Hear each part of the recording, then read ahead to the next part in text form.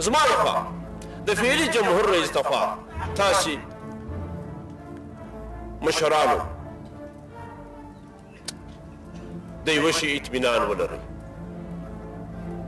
پوره ډاډمن واوسئ چې کرزی به تل هغه کوي، تل هغه کوي چې د دې خاورې ثبات او د دې قانون اساسي ادامه او مشروعیت او د دې خاورې ښېګړه یې پښکې کړي. حامد کرزی ته رایه قانونمند افغانستان ته رایه.